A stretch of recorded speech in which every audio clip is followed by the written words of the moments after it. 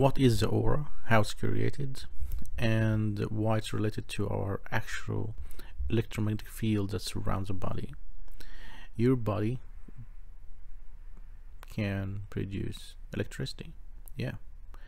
When you think about something, when you have any emotions that is related to your thinking, whether this thinking makes you happy, makes you sad, makes you frustrated, makes you angry, makes you feel in love, all these emotions creates chemical reactions in your body. These chemical reactions generate electricity, and this electricity creates the field that surrounds your body. People call it aura, which is a three-dimensional field that surrounds your body that describes if you can see it or you can video it or can do imaging for it it can describe your mental state like if you feel angry upset all these sort of things will be displayed in your aura does it happen before that you're walking a street and somebody was looking at you from behind and suddenly you turned your back and you found the person who's looking at you was actually looking at you and you just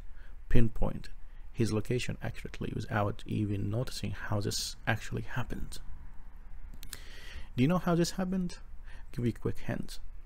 When this person looking at you, he's actually thinking and he has emotions and his emotions create electric, uh, the electric field and therefore the electromagnetic field that has frequency. These frequencies you can actually receive it. Think of yourself as a mobile phone that you can receive electromagnetic waves. These frequencies can be received by something called pineal gland. It's the back of your head. People call it third eye or horus eye different names it has spiritual stuff but let's have a quick idea what it does this pineal gland actually is very sensitive to light Light is simply an electromagnetic magnetic waves. And it's actually reacting when you are sleeping. It just produces this melanin that allows you to sleep comfortably and you wake up in the morning and you feel you have the energy for the day.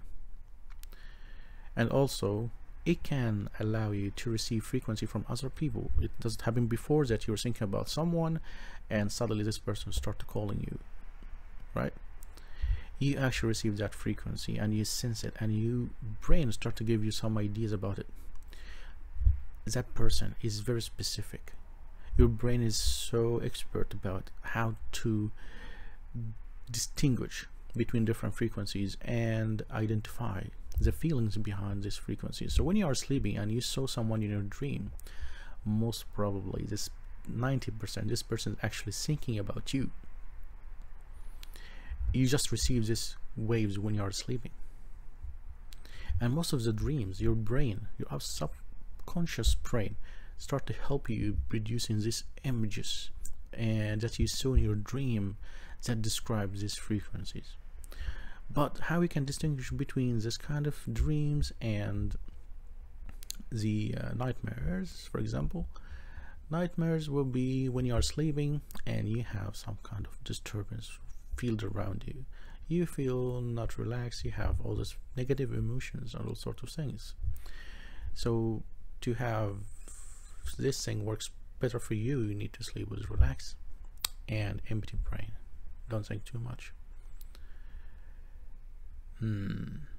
All right. If you need to know more let me know. Thank you